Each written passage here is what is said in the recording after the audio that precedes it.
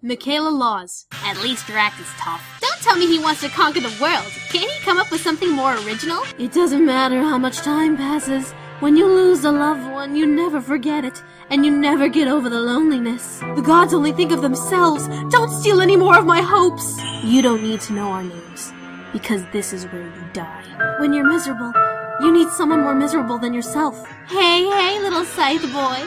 Since you're fighting with that girl over there, why don't you become my man? Blair will forgive you no matter what you do to her. Why not come with me? We are both scientists and want to explore the world. And I love you. Thanks for saving my life. You're a pal. Now do your thing, Moon Mama. Next time it will not be so nice.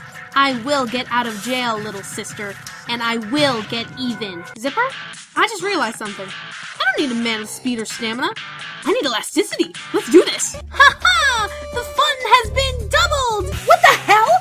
Yukiko's a murderer? Yukiko said that she was worthless and that I was protecting her? Come on, she said that she was worthless. Man, you gotta love that.